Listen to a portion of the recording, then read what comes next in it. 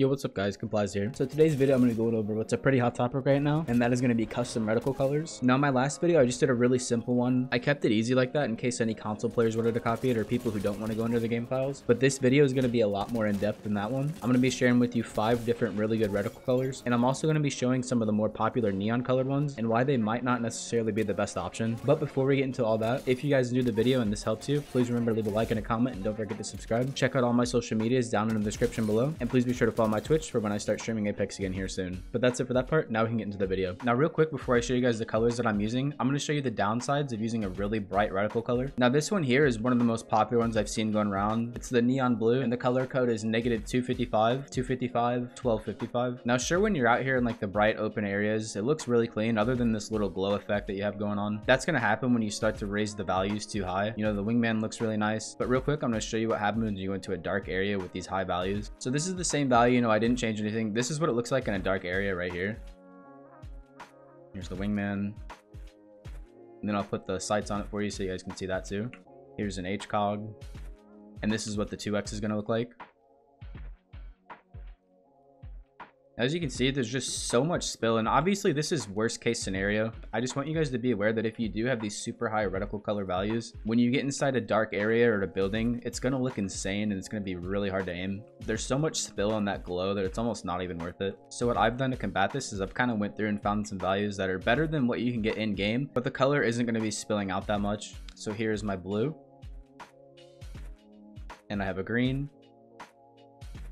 I have a pink yellow, and white. And as you can see, these do still have somewhat of a neon effect, but you know, it's not spilling out of the side. It's not going to be super blurry. And real quick, I'll show you what these guys look in the dark area up there, just so you can kind of compare them. So this is what mine look like in this dark area. Here's the blue, the green, the pink, the yellow, and the white.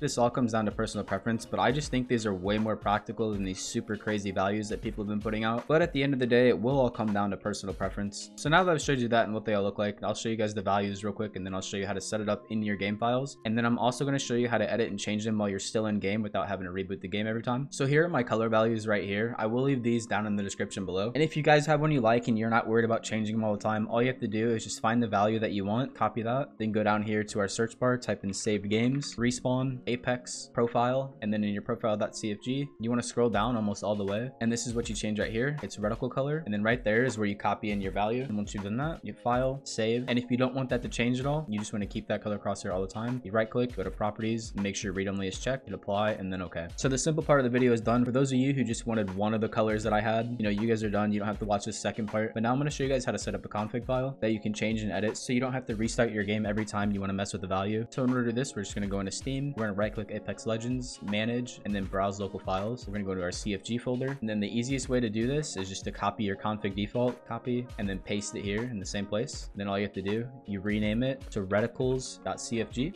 No, I already have one, so I'll just hit no. But that's what you do for that. And then you'll be left with a file like this. I'll also have this down in the description below if you want to copy this. These are my values, but if you guys want to make it a little bit brighter or a little bit darker, this is where you would change it. Now I have my execute set to equals, but you can set that to whatever key you want, you know, F1, F2, F12, whatever you guys want, doesn't matter. And then I have my blue reticle on six, my green on seven, pink on eight, yellow on nine, and then my white is on zero. You guys can change that as well to whatever you want. And it's super simple. All that you do, once you get your value set, you hit file, save, and then while you're in game, you hit whatever your execute button is, mine is equal. So I would hit the equal sign in game and that would apply these current values. And when I hit six, seven, eight, nine, zero, it'll be whatever is on these. It sounds kind of confusing at first, but once you get in a game and do it a couple times, it becomes really easy. Now we go back into our Steam and we're going to enter in a command line. So we'll just right click properties and then you're going to have plus exec reticles in there. So it knows to run that file. And then I'll show you guys one more thing that I was having trouble with. And I know some people might have trouble with as well. So we're going to come back down here, type in save games, go to respawn, apex, local, and then settings.cfg. If you're having problems with not being able to change it and then edit it while you're still in the game, it might be making its own keybind for those values and then not letting you edit them. It just keeps them as whatever you had in the first place. So all you have to do is just come up here to your settings at CFG, right click properties, make sure that's checked to read only, and then you should be good. So then once you go back in game, you should just be able to hit whatever bind you set. So mine's 67890. I'll run through that for you guys real quick. So 67890. Yep. And it's set properly. I'll be able to tab in and out of game and change those values right there without having to close and restart the game. All right, guys. So that's about going to wrap up today's video. Keep in mind that these colors are personal preference preference. You know, mine aren't the very best. They're not going to work for everybody. However, I do feel like they're going to be the most practical and work for the most people. They're brighter than anything you can set with just the in-game settings, but they're not going to be super bright and spilling over the edge and making it harder to see for you. But yeah, hopefully you guys like them. If you did, please remember to leave a like and a comment and don't forget to subscribe. Links to all my social medias are down in the description below if you want to see more of me. You know, if you have any questions, you want to get in contact with me, check those out. But that is going to be it from me. I really hope you guys enjoyed the video and I hope you have a great rest of your day.